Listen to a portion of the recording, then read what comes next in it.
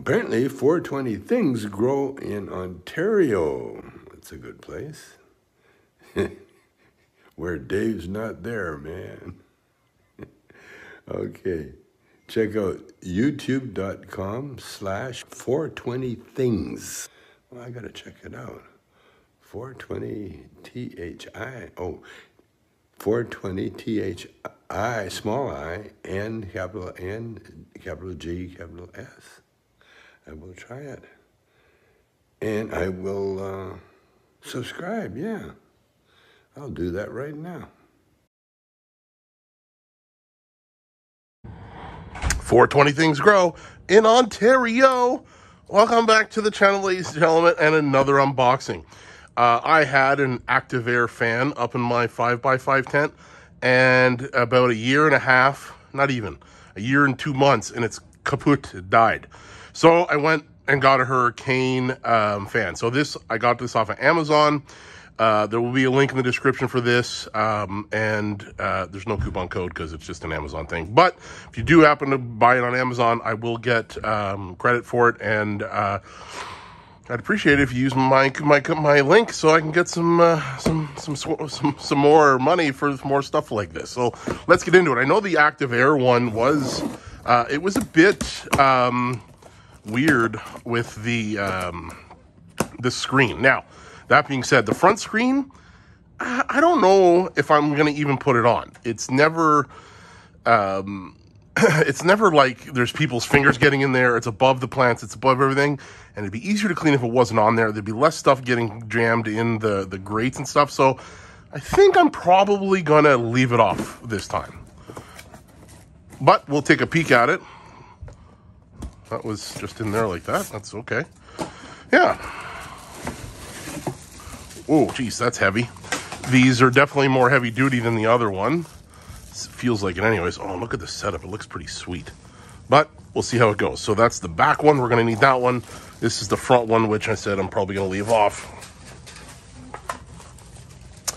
And here's the fan. Sorry for uh, doing this unboxing on this chair. I'm kind of in a chair myself here. Uh, I had some surgery on my leg and uh, I'm not able to put any weight on it, so it's going to be pretty tough going forward. So I got my neighbor coming over later to help with the install. So we'll get this into the tent, and we'll show you how I install it in a in a five by five tent, um, and we'll go from there. So mounting bracket looks like yeah, mounting bracket. Some uh, I guess those are like drywall um, stuff. I won't be using that, but uh, yeah, that's looks like that's the mount. We'll see how it works. Yeah, Okay, here's that. Here's that. I wonder where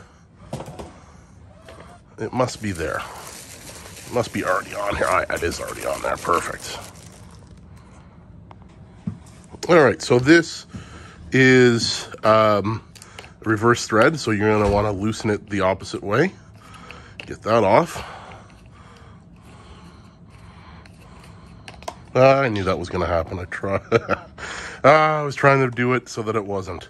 Um, it's actually written here, loose and tighten. This one's regular. Um, I was trying to not have that happen so that I would... Is there a certain way this must go? Circle. There. It's got to go there. This has this little tit sticking up here. This fits here, this fits here, that fits there. Perfect. That's on.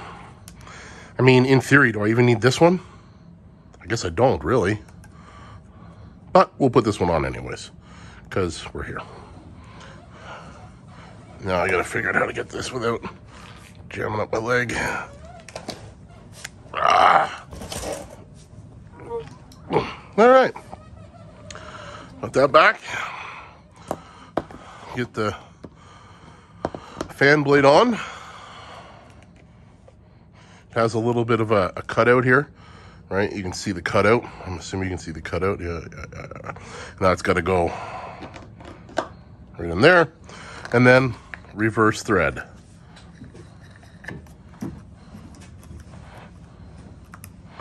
And there, the fan pretty much ready to go. Now, let's look at this setup here. So this just kind of, you, you're gonna have to screw this onto your wall or whatever you're gonna screw it onto, and then this just kind of sits on it. But you gotta remember, so when you look at this, okay, and you see this down here, and uh, you see this up here, you got to have a little bit like these these these are the plastic pieces or rubber actually rubber. But when you mount it you want to make sure you mount this so when this sits on it has somewhere to touch to. So i have a two by six um, that i'm going to mount it to. Two by four maybe a little bit light and it would push here so it may not be the perfect thing. So yeah. So that's it. So uh, my neighbor has shown up graciously to help with this. My wife has left so we might have to do it later but um that's it. Pretty straightforward. Now I'm hoping that this fan is going to last longer than the last one. This one says that it has a one-year warranty, so that's I'm past that anyways with the other one, so who knows. But this Hurricane fan, I've seen good reviews, so we'll see. All right, so there's the old bracket. We're not taking it down because we didn't have the right bit.